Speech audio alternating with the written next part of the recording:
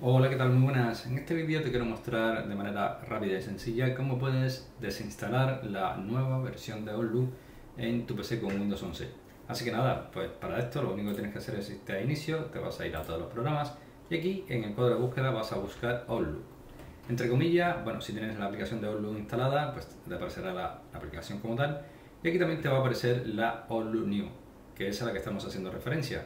Por lo tanto, si lo que queremos es quitarla, solamente hacemos un clic derecho y desinstalar. Dice que vas a desinstalar la aplicación y le vamos a decir que sí.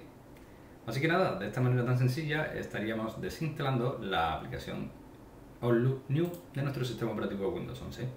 Espero que este vídeo te haya gustado, que te haya ayudado y si es así como siempre te digo, te invito a que me dejes tu like, suscríbete al canal y por supuesto nos vemos en un siguiente vídeo. Chao.